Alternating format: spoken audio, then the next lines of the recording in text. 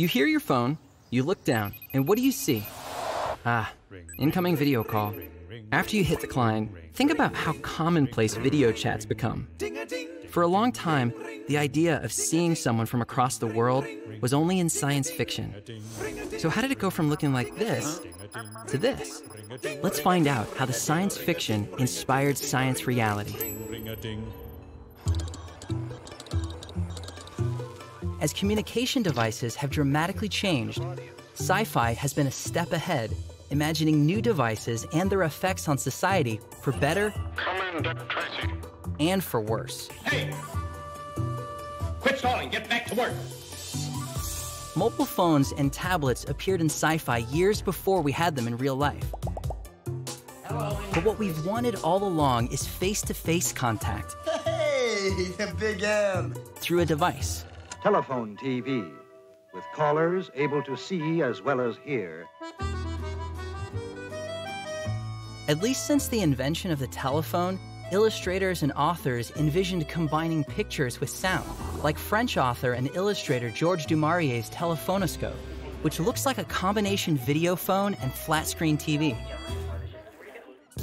The video phone appeared in the first episode of The Jetsons in 1962, Mother! When Jane Jetson had a chat with her mother.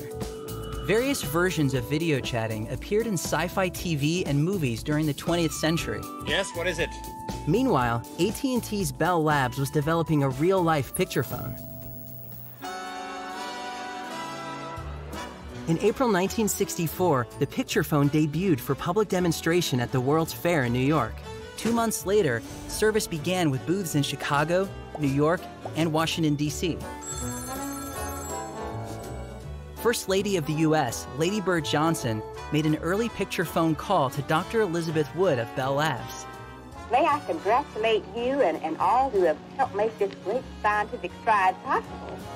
The system was impractical for home use, involving expensive equipment and a hefty fee per minute.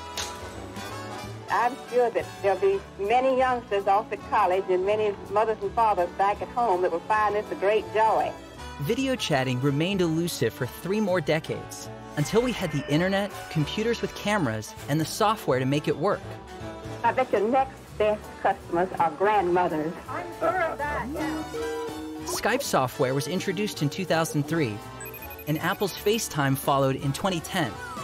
We finally achieved the dream of the video phone. Now call your grandma. She'd love to see you.